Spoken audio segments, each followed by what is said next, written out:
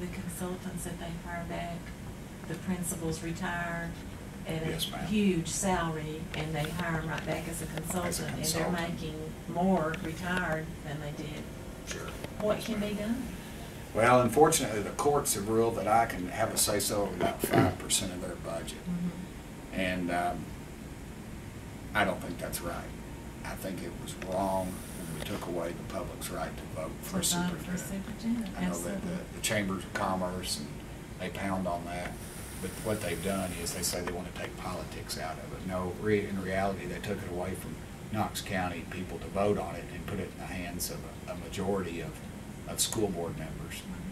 Five people. Five yeah. people basically run the school system and they're only accountable, as long as they're taking care of their district, they don't have to worry about anything else. And those five can move. You know, you'll have your core two or three votes, you know, but that's the way, and, and I don't see, until we address that, until the public is really aware of what happened, that one of their rights was taken away by the legislature, I don't think we're, I, I don't think you'll see a change in,